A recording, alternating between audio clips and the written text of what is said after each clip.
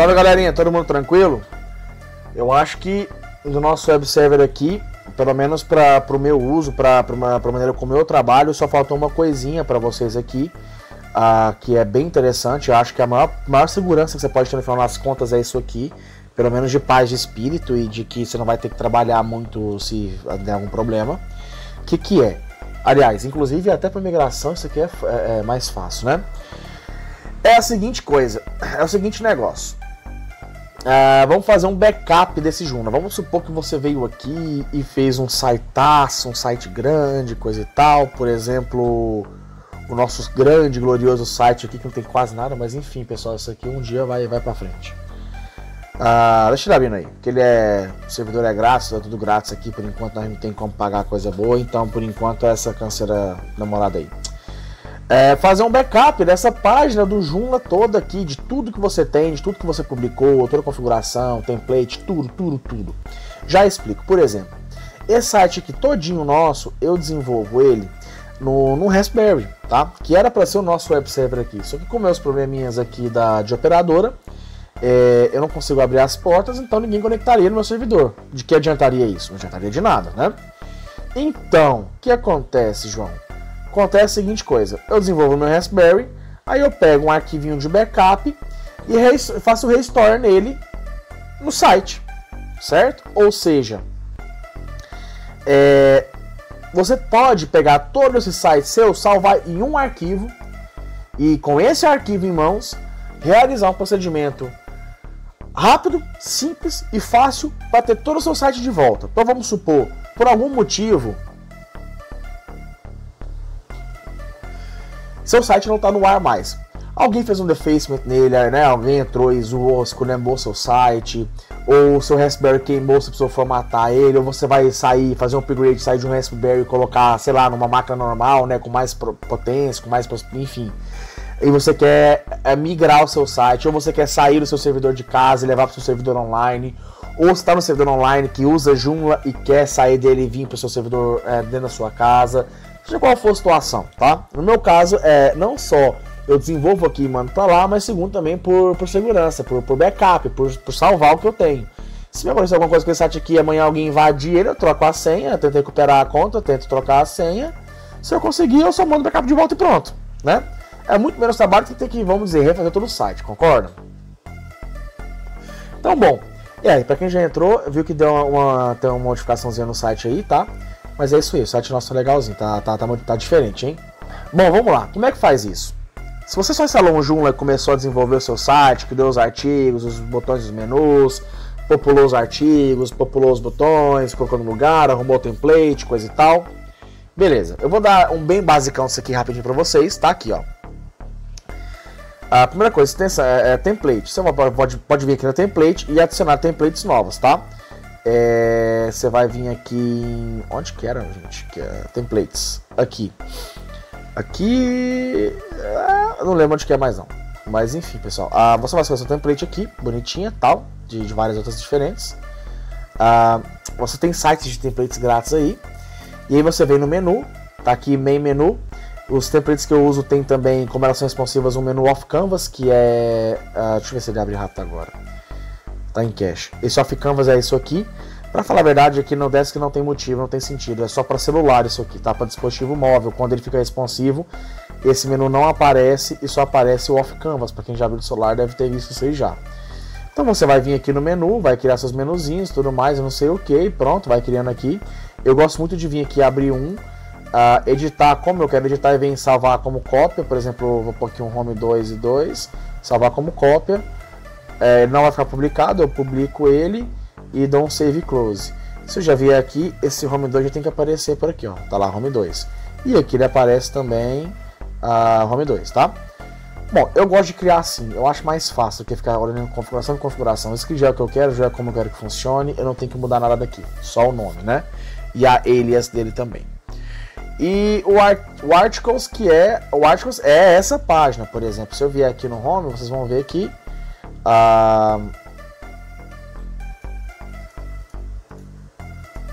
opa, vamos pegar outra, outra página. Não, eu não tô em. Eu não tô em articles. Content articles. Ah, sim, tô, tô, tinha clicado errado, pessoal, foi mal. Então o article está aqui, certo? Ah, então se eu vier aqui, por exemplo, que página que é essa aqui? Your template. Deixa eu ver se a gente abre ela para vocês verem aqui. Ah, não tem. Aqui, Your template. Essa página aqui, tem isso aqui escrito. E eu venho, escrevo o que eu quero aqui, por exemplo, vou, vou dar um, vou aumentar esse texto. E dou um save lá, e quando terminar de salvar, eu atualizo aqui e já aumentou, né? Então você vai criando um article e tal. Dentro do botão aqui, depois você criou o article, né? Você já tem um botão criado. Você vem aqui, ó, dá um clear, seleciona e fala qual article você quer, né? Aliás, aqui ele tem categorias, mas dentro de categorias, uh, que vai abrir e tal qual article, porque o home é categoria, mas enfim. Tá aí, tá aí seu site, tá aí suas coisas, tá aí, você vai criando e coisa e tal. Hoje não é o foco. O foco hoje é o backup disso, tá? Então por que eu tô mostrando isso aqui? Porque ele vai salvar template, ele vai salvar os artigos, vai salvar user, vai, vai salvar tudo, tudo, absolutamente tudo, né? Como é que eu faço isso? Como é que é isso aí? Como é que eu faço para pegar isso aqui e mandar para outro servidor com outro Joomla? Tem uma extensãozinha muito filé, gratuita, que eu uso ela bastante, aliás, eu uso só ela, que chama Akiba Backup. Mas primeiro, primeiro vamos fazer o seguinte, ó, é adicionar o install from web, né? É, é, um, é um plugin já para você adicionar plugins daqui mesmo. E eu acho muito mais fácil. Se funcionar bem, se não funcionar, a gente vai fazendo manual. Então vem aqui, eu venho aqui, Akiba Backup, dou um enter aqui. Ele tem a versão paga, viu pessoal? A versão paga mais completa, mais cheia de não sei o que, tem backup automático de acordo com o tempo. Para quem tem, por exemplo, fóruns e comentários ativos na página, eu acho que vale a pena pagar para poder ter esse backup agendado aí sempre. Vamos abrir aqui já o Akiba.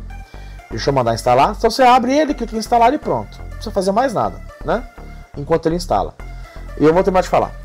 Uh, então, uh, ah, para quem tem esse tipo de coisa, conteúdo dinâmico no site, eu acho interessante você ter, ter, agendado aí, sei lá, uma vez por dia, uma vez por semana, a cada três dias, o tempo que você achar necessário, esse backup automático gerado aí. Ele gera um backup, o arquivo lá no seu, no seu, no seu HD, você pode, sei lá, fazer um script para copiar toda vez que, que, que, tiver arquivo novo, copiar ele para algum lugar, ou já mandar isso aqui para um HD externo, para algum lugar, não sei, enfim. Isso aí vale da criatividade e cidade de vocês.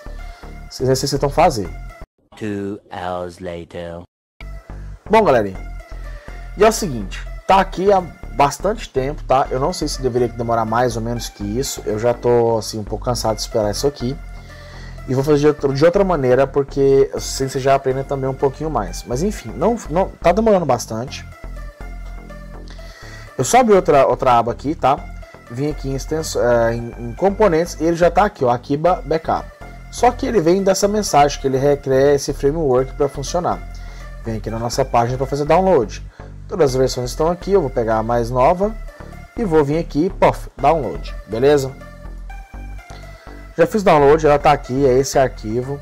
E aí esse trem tá enrolando demais, eu vou dar uma parada aqui, vou atualizar, ele vai dar pau na página, normal, voltou, coisa e tal.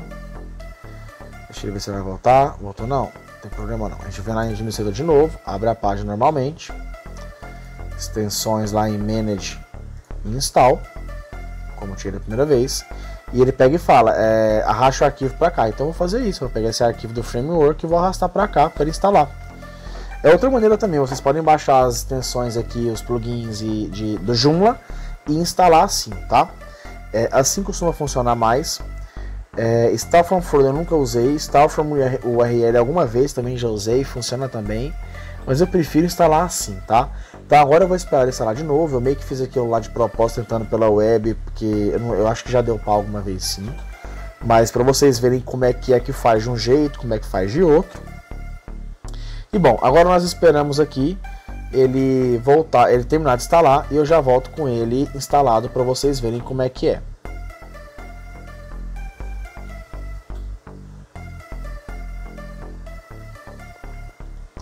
Bom, galera, terminou de instalar aqui, foi até bem, bem, bem mais rápido do que eu imaginava, tá? É...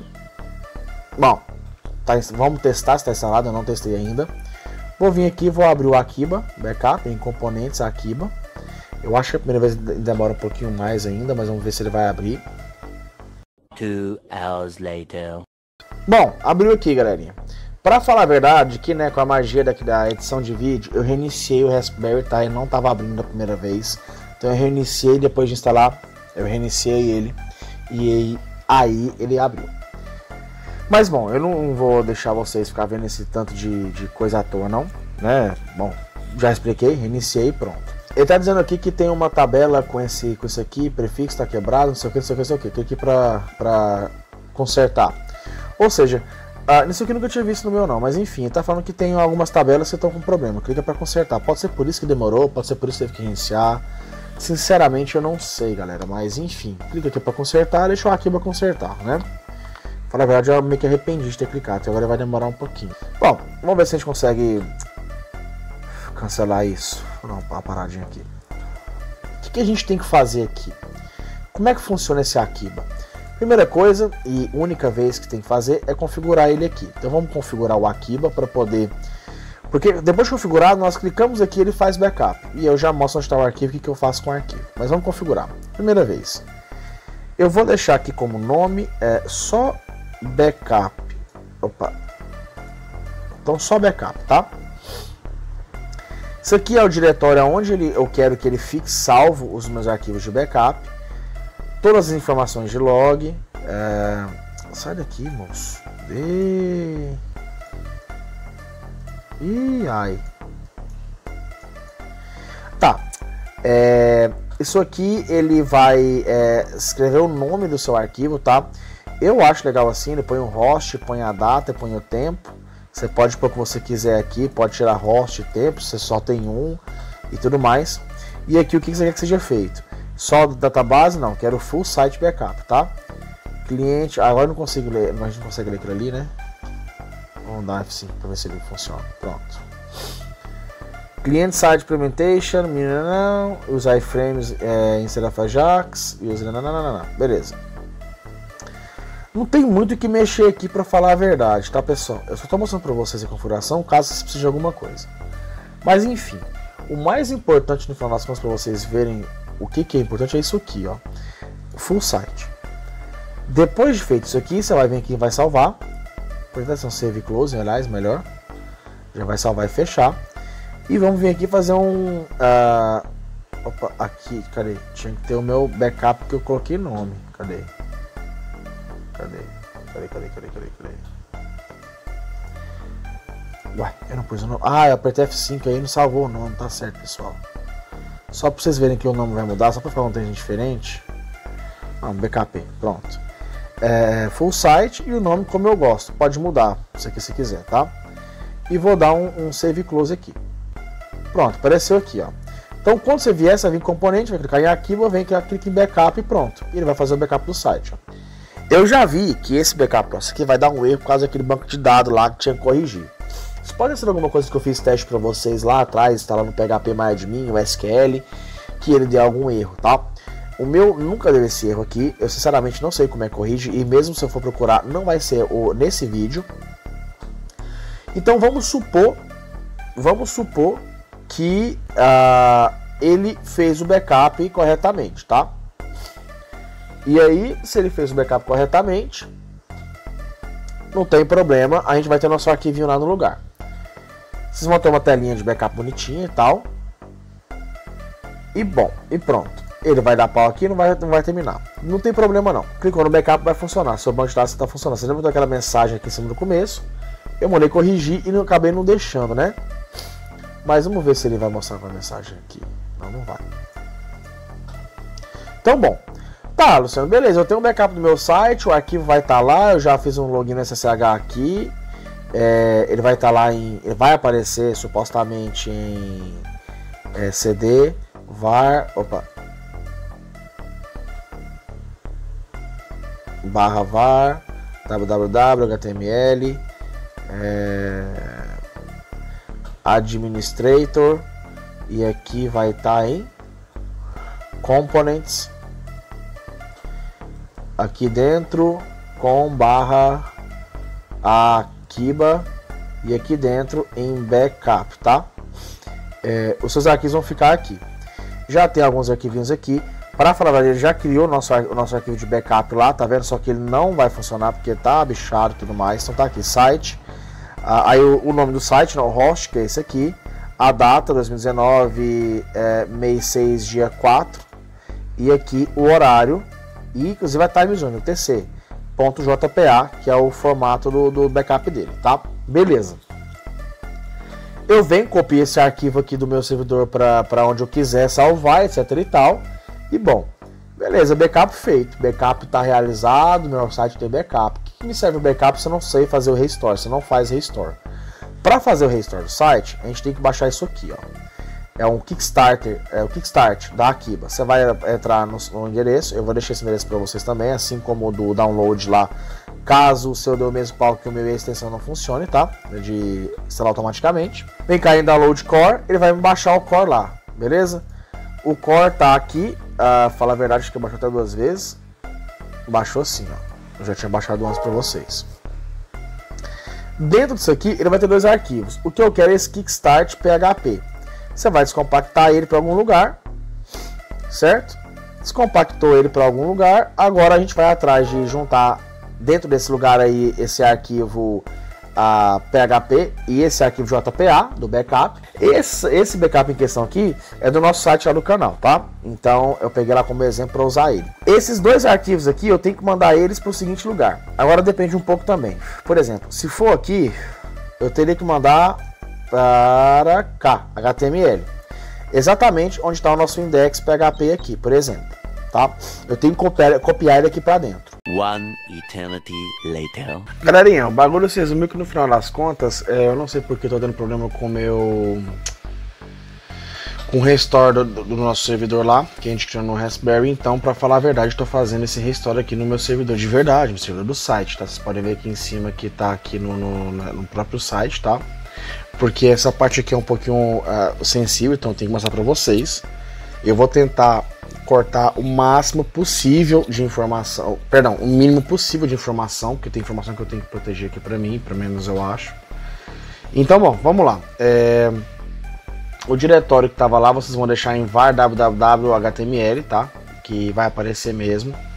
Que inclusive é a própria página é, que vocês vão vão, deixar, vão colocar, que a gente colocou lá nosso, nosso backup e o nosso Kickstarter, Kickstart, né? Vamos dar um start aqui. Essa parte aqui costuma ser, é, bom, nesse caso aqui rápido, mas costuma ser um pouquinho demorada no, no Raspberry, porque ele tem que, vamos dizer, descompactar esse arquivo. É, dependendo do tamanho do site, no caso do meu site, do meu backup aqui, é um arquivo um pouquinho pesado, tem bastante foto, né? Dos, dos tutoriais, etc e tal, então demora um pouquinho. E assim que terminar, eu volto aqui para vocês. Bom, galerinha, terminou aqui a de, de aquela parte, aquela coisinha, aquela barrinha estava completando. Ele já vai vir automaticamente para essa página aqui. E a gente vai clicar em Run Installer, tá? Deixa eu tirar esse volume aqui para não ficar atrapalhando. Bom, aqui, vou ser bem sincero, eu já li umas algumas vezes na minha vida isso aqui, só que no final das contas eu parei foi de ler, eu parei foi de, de me preocupar muito, porque basicamente aqui não tem o que fazer, tá mostrando o que tá ligado, desligado, o que ele recomenda e coisa e tal. Então vem aqui em cima e dá um next. Essa parte é importante, isso depende muito do que vocês querem. Aqui para baixo não tem muita coisa a fazer, mas aqui em cima vocês podem ver, uh, podem uh, selecionar o que vocês querem como configuração. Opa. Eu basicamente não mexo. Não mexo aqui. Você pode fazer um drop das tabelas existentes, pode fazer o backup delas, pode usar um replace em vez de insert. Pra... Enfim, quem sabe de banco de dados vai entender isso aqui. Uh, eu não sei, sei lá, se eu faria esse tipo de coisa no insight meu, porque, bom, preferia dar um drop. Melhor você tirar tudo e começar de novo, já que o backup está completo inteiro, do que você deixar um monte de tabela que pode ocupar espaço. A maioria dos, das hospedagens, se você paga os mais básicos, seus espaços costumam ser bem reduzidos. Então, em algum, de alguma maneira, de algum jeito, pode ser que isso te dê uh, um problema no futuro de espaço, né, de falta de espaço no seu servidor. É, bom, aí nós temos que completar isso aqui, essa tabelinha aqui. Bom, então aqui no começo vai ser isso mesmo, tá? Aqui no Data Server Hostname, ah, no meu caso vai ser SQL. Bom, vou parar de falar, eu vou cortar também, então vou tampar ali para vocês não verem, né? Mas enfim. É...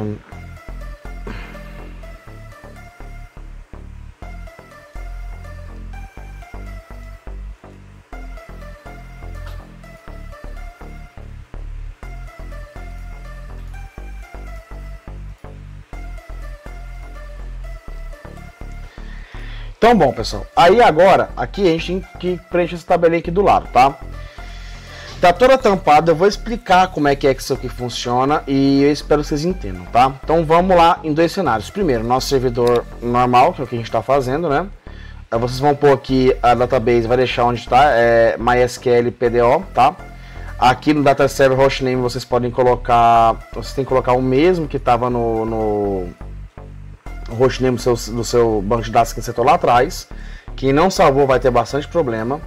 É, database name também.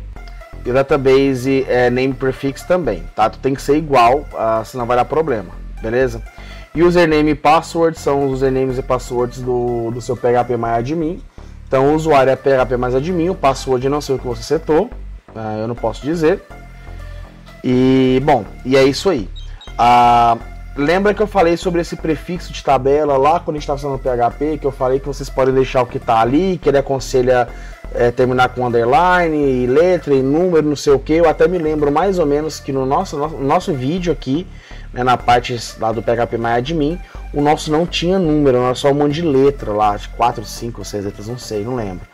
Isso aí, essa informação vocês, vocês têm que salvar. Eu esque... não sei se eu esqueci falar isso, eu falei para vocês, mas enfim. Preencheu isso aqui. Uh, vamos dar um next. Ah, bom, deixa eu antes dar um next falar. Se você estiver fazendo um servidor uh, hospedado em algum outro lugar, que é o meu caso aqui agora, e o caso do nosso site, username e password o servidor vai te dar, que é o username e password também do seu, do seu banco de dados. Hum, o database name costuma ser eles que te dão isso também, tá? É, e o database server host também são eles que te dão. Isso aqui, esse database server host é o, é o, hostname, é o endereço do seu servidor, do seu servidor de banco de dados. Então eu imagino que aqui uh, no nosso servidor vai ser, pode, você pode colocar o host, tá? É, mas no caso da aqui, aqui, bom, então vamos lá, mais devagar um pouquinho. No caso do Raspberry Pi, aqui vai ser localhost. No caso do, do servidor online, é, de alguma, alguma hospedagem aí, eles vão te, provavelmente vão te fornecer isso aí. Provavelmente não, eles têm que te fornecer isso aí. Então, essas informações todas aqui, tirando o prefixo da, da do database aqui, uh, o seu provedor vai te fornecer. Se foi, você fez em casa, localhost, pega mim, sua senha, o nome da, da base de dados lá, é no, você, você tem que ver o que vocês colocaram e o prefixo também, tá?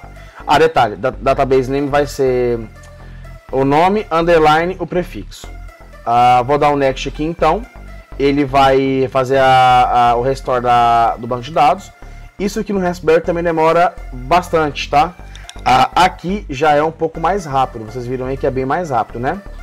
Então vamos dar aqui mais um next. Essa última parte aqui tem algumas coisas para fazer. O nome do site eu pus garciaexplica.com aqui, mas nem é isso. É, não sei porque que fica preenchendo isso, isso aqui toda vez. Coloquei Garcia Explica. O site mail address, eu coloquei o meu e-mail, tá? O, o site mail sender name também coloquei é, Garcia Explica. Eu não sei porque que tá assim. Ah, ah, sim, é porque tava sem espaço, tá? Por isso.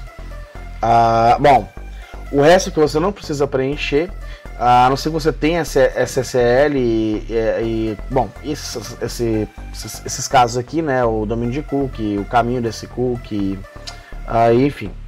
Mas aqui embaixo você tem que preencher o super user, né, o, o usuário para você entrar nesse, naquele barra administrator lá do Joomla e a senha para você entrar lá também, tá? Então eu vou pôr minha senha aqui agora.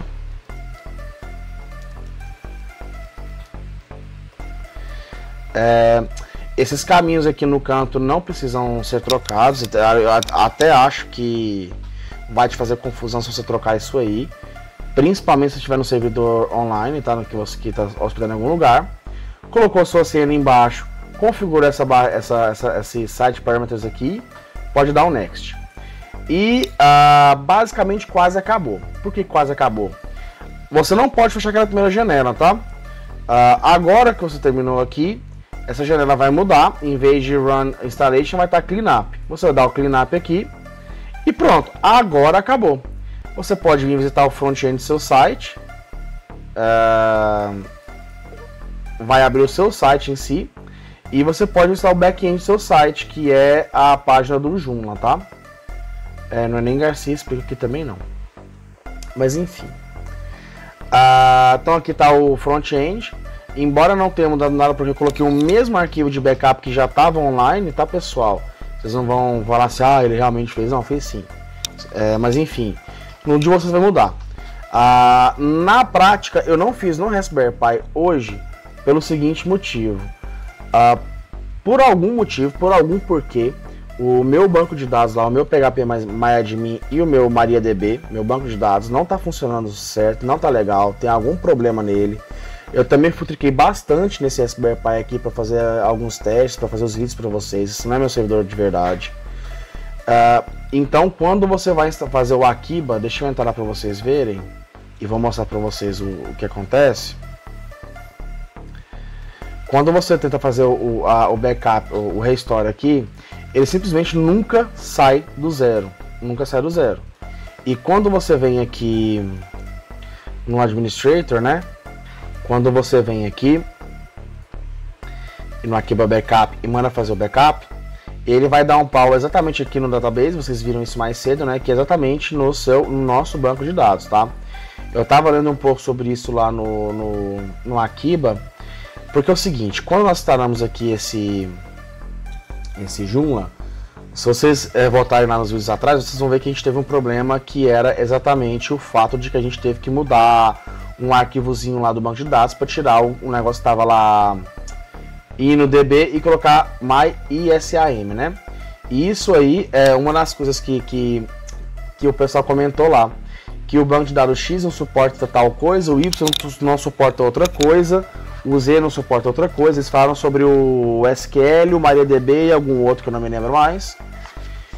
E então você tinha que ir atrás de resolver o problema do seu banco de dados, que não é o foco do vídeo, por isso que eu não fiz, tá? E também não vou fazer, porque, pra falar a verdade, eu não tenho interesse nisso por enquanto, tá, pessoal? É uma coisa um pouco mais avançada, um pouco mais complicada e eu não tenho tanto domínio nisso aí. Mas bom, eu espero que tenha ajudado a ensinar pra vocês como funciona. Se o seu sistema tá legal, tá funcionando aí, ó, nunca sai daqui. Se o seu sistema tá legal, tá funcionando, vocês vão ter esses problemas que eu tive. Se vocês tiverem esse problema, vou ser bem sincero com vocês. É uma coisa tão complicada chata, chata de você estar tá fazendo toda vez e arrumando e procurando informação, porque é algo muito específico dentro de um nicho específico, né? Eu aconselho vocês a, a refazerem toda a instalação, tá? Eu não acho que está muito difícil, vai gastar um tempinho aí, talvez um dia ou dois. Se seguirem os tutoriais lá que, que a gente tem aí com todos os comandos já prontos, é só questão de Ctrl-C, Ctrl-V, esperar download, esperar instalar. E refazer tudo de novo para ver se o negócio funciona como deve funcionar e se o negócio não dá problema, tá bom? E espero ter ajudado vocês aí a saber fazer um backup do site para poder se resguardar e também migrar. Galerinha, e até a próxima. Se inscreva no canal e ative o sininho de notificação. Se você gostou do vídeo, deixa um like. Se não gostou, deixa um dislike. Tem alguma dúvida, sugestão, pode deixar um comentário pra gente. Não se esqueçam de verificar as nossas redes sociais e também o nosso site. Temos todos os conteúdos disponibilizados em PDF para download.